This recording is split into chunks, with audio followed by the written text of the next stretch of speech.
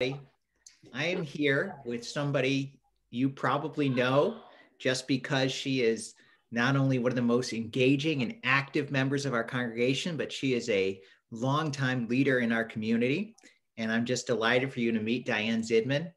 And uh, Diane, why don't you maybe start, um, give us a little background about um, your life, your professional career, what you do now, um, I know it's it's it's varied. There's a lot of interesting, a lot of interesting stories. So just tell us a little bit about yourself now. Uh, you know how you got to where you are now.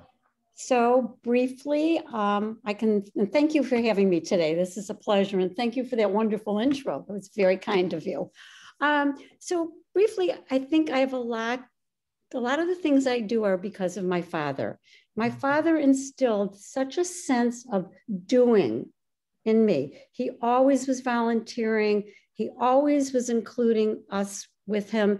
And being the only daughter, he felt like I should be doing this even more than my brothers. So I really look up and I thank my dad for all the inspiration he gave me. And I started volunteering basically, I think when I was 10 years old. We had um, a neighbor, now it's going to probably show my age a little bit, but he had polio and he was in an iron lung. And I organized a group of all of the neighbors and everyone for a fundraiser to buy him different things so we could entertain him while he was in this horrible iron lung. You know, things that we could hold up that he could look at. So I think that's kind of where my my sense of doing and and helping others really started. And um, kind of moving forward, I was involved with B'nai B'rith Women. I was involved with ORT for a while, and then Lakeside. And Lakeside is where I really found what I could do. When we joined Lakeside, oh my God, how many years ago? Almost 40 years ago, I would say. Long time, but I'm only 41. So what led what led you and Mike to join Lakeside? What what, well, what drew you? We were both raised conservative we belonged to Northwest Suburban in Morton Grove. Bless you. And when we moved to Deerfield, we started looking at the conservative congregations. And to be honest, nobody welcomed us. We had good friends that belonged to Lakeside. Um, I will admit to you, I was not thrilled with the services when we first joined. It's a little too classical reform for me, but the people, the congregants, we felt welcome so much. And my kids loved the school.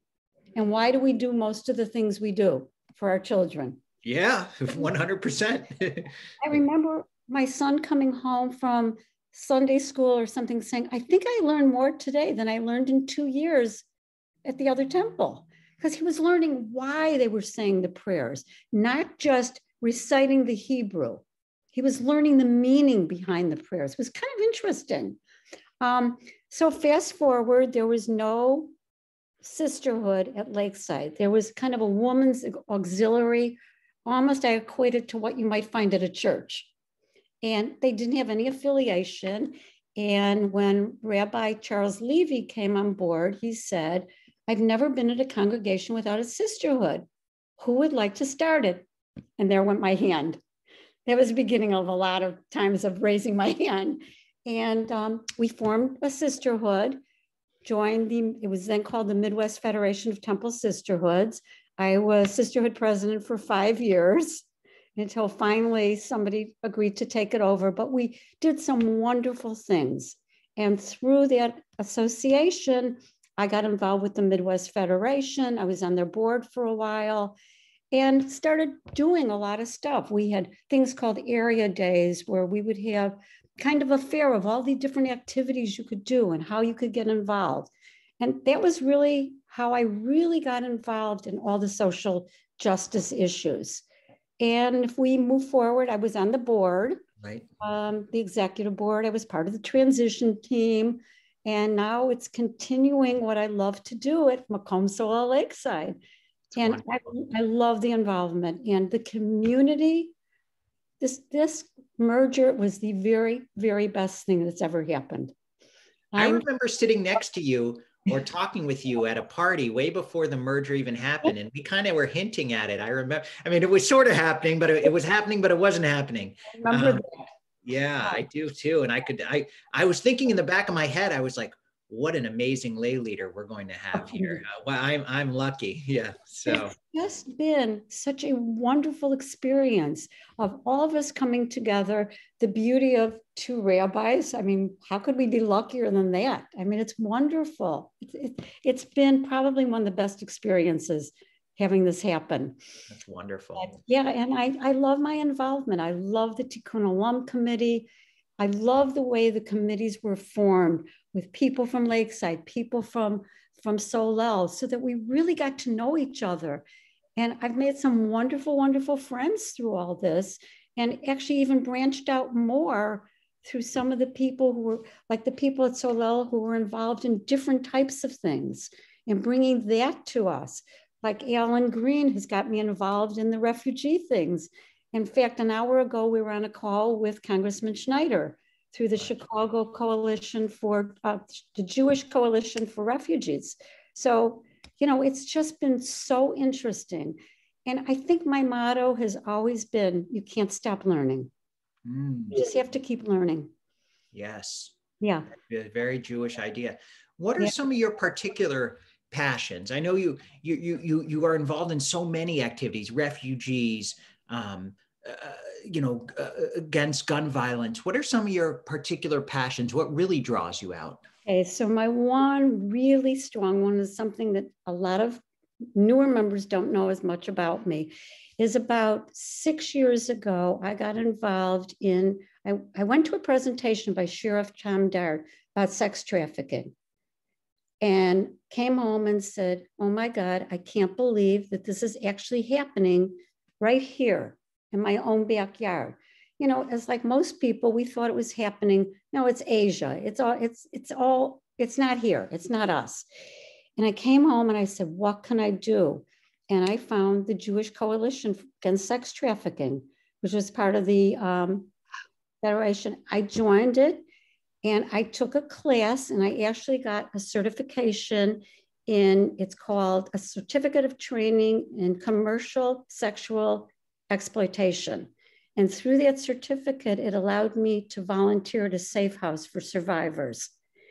That has been, and then I went on for several years doing presentations for community groups. I did one at Lakeside. I did a couple of Rotary presentations to talk about awareness of how you can see this happening. What do you do? How do you know if uh, your child, your grandchild is moving with the wrong group? How do you see the signs? And it really was a very strong passion. Um, unfortunately, in the last year and a half or so, there's been no volunteering. There's been so much has been we've lost so much. I intend to get back. However, the safe house that I was volunteering at that was in the northern suburbs has moved to, um, I think it's Kenosha, pretty mm-hmm. sure. So it's taken away the being able to hear, but that was a major, major passion.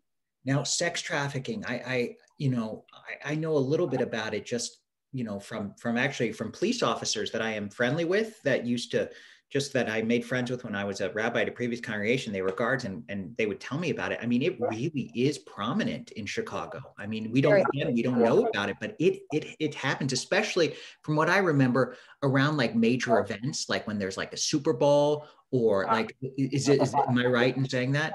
You're absolutely right, but it's even happening. And do you know the Optima building in Skokie? The oh, one oh, sure. that kind of okay. Yeah. So there was a major sex trafficking ring going on in that building about four years ago. Major. Oh my, a lot of doctors live in that building. And the residents of that building knew something was going wrong, but they thought it was bedding.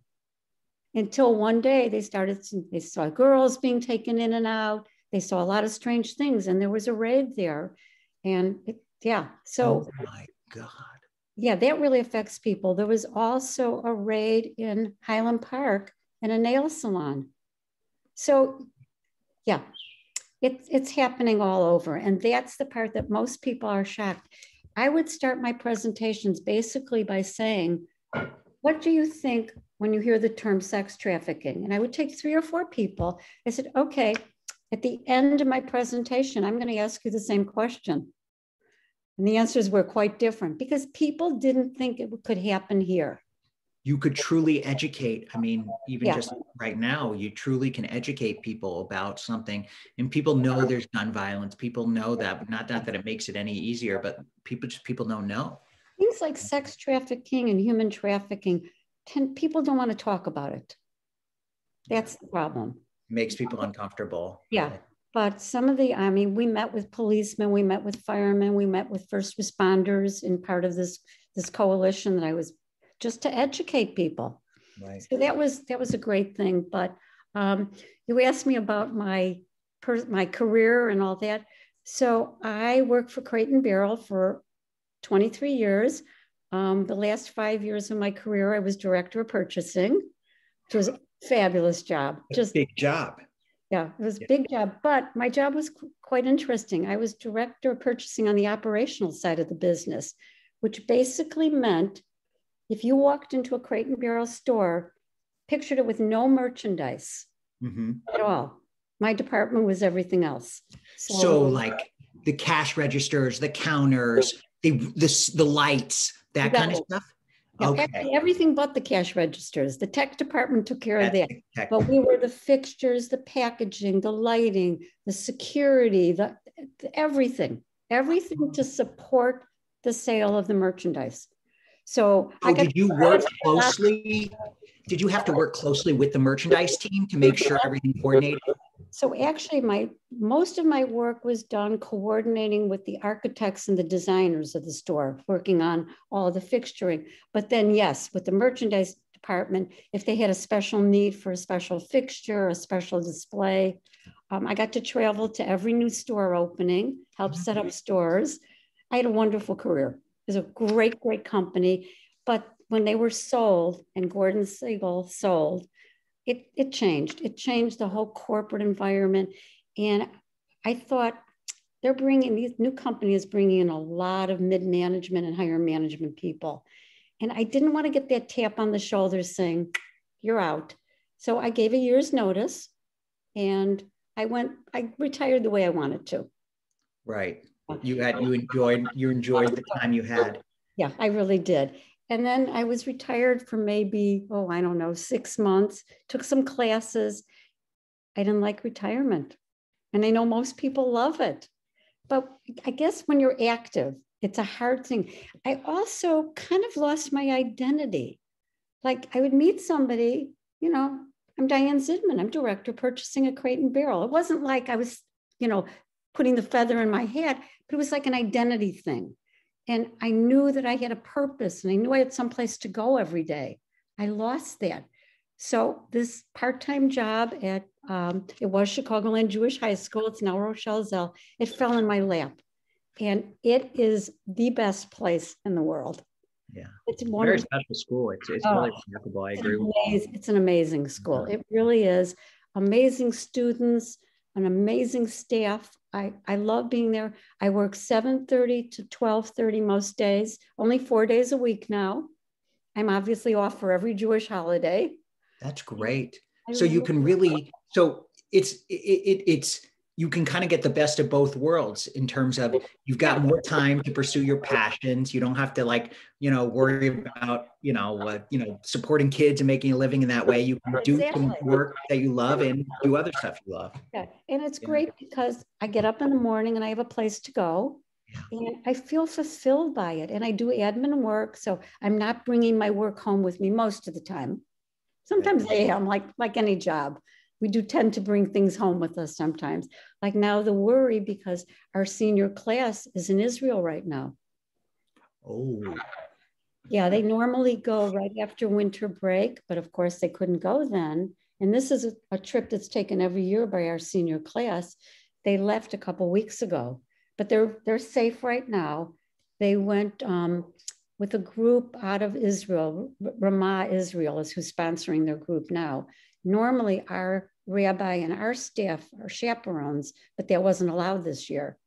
So this Ramah Israel is handling all the things. So mm-hmm. yeah. their parents must be a little worried. Well, the person who's from Ramah, who's le- leading the group, is sending letters every day to the Good. parents. beautiful letters. They're up north, they're safe. They're, you know, obviously they're in touch with security every day. They're monitoring their movements. They're not going to take them any place that they're going to be in harm's way. And they're having a wonderful time. Right. We're enjoying being there. They're enjoying being with their peers and, you know, they're keeping them safe. But it, it, it's scary. If I had a kid there right now, and I feel like these are my kids sometimes. Right. Yeah. yeah. In some sense, they're the parents know mm-hmm. the parents must be committed to their life if they're sending their kids to the high school. So they're they're going to have some trust and faith. And so many of them, we have so many people who are born in Israel, who live in Israel, who've come here. We have a couple kids on green cards. I mean, I have a lot of Israeli kids. And we have a girl who graduated last year that just completed two weeks training, their final training for the IDF. Good for her. She had a beautiful blog today, beautiful blog about what's going on and her feelings. And yeah, but yeah, it's a difficult time. It is. Yeah. But tell, tell, tell, I know a little bit about what the Olam Committee does, but tell me a little bit more about what it does. There's so many activities. Well, that's the whole purpose of it is to, you know, repair the world the best we can in so many different ways. So we have broken up into different groups. Like we have something called Team Tzedek. So we have somebody who handles gun violence, not handles it, but somebody who's like chair of gun violence. Someone from the Green Committee sits on. We have people who are involved in different groups like JCUAH, like um, the Chicago Coalition, you know, the refugee thing.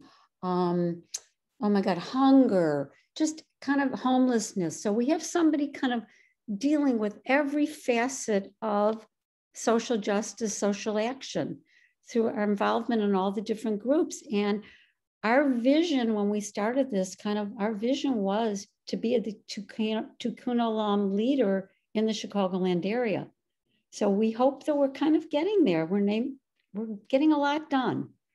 We really are. And it, it feels great, the stuff we're doing. And there's so much to be done. I don't have to tell you that. Yeah. so much repairing to be done. What other what are some of your visions and dreams for the committee? It's to continue the excellent work we're doing and obviously to expand the committee and actually to be take take on more things like we're trying to get more involved in diversity, equity, inclusion, you know, as the board is and as the whole congregation is, but to get more involved in that, get more involved in some of the, the hate crimes that are going on. You know, not only just looking at the Jewish community, but let's look at our brothers and sisters in the Muslim community and the Asian community and offering support there where we can. So I think we're just trying, we want to be everything to everyone. We know we can't be, we can't be everywhere, but we're trying to reach out where we really feel the need is, you know, to get on these issues. And again, through our, um, yeah, obviously we work a lot with RAC Illinois. RAC is a tremendous partner of ours and very involved with RAC. And so any of the initiatives that RAC is supporting, we're jumping right on the bandwagon with them. I mean, they're supporting mental health initiatives now, refugee things. So there's really, there's never, there's never a time that we come to a meeting and say, gee, what can we do? You know, it's always like, what do we do first? Yeah. You know, and how do you prioritize all of these needs that are out there? So we're trying. Yeah. Let me ask you one more question. One of the things that I don't know why my getting feedback on my mic, but one of the things that I think is really I've noticed about you and Mike that I really admire is some people just get involved in one aspect of the synagogue. They just do social justice. They just do Torah study, which is fine, which is wonderful. You and Mike are really involved spiritually and in terms of social action do the two nourish each other for you? Is worship an important part of your Judaism? How what what role does worship play for you? Oh my God, such an important role. I to me, the, the Shabbat services give me meaning. It kind of it just ties up the whole week and makes me look forward to what's coming up. I miss Havdalah. I can't wait for Havdalah to come back that was just such a wonderful end of the day and a beautiful, just the meaning of it is so beautiful. But we love the services. We love the community that's on the services. We love the informal discussions and then the service. Get a lot of meaning out of it. We just would love it. And I love that each of you is involved in the service and each of you brings something different to that service. And that is so meaningful. It's just, it's so beautiful.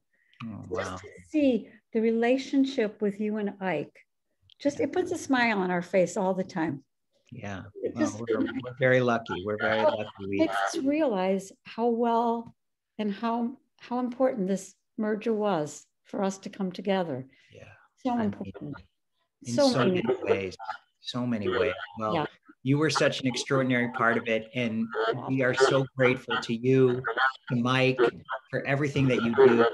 And thank you for taking the time this afternoon and looking forward to many, many more happy occasions and important activities together. And thank you for the opportunity to talk to you today. This was wonderful. Okay. Have a wonderful rest of the day. Thanks. You too. Lots of love to you. Bye-bye. Bye.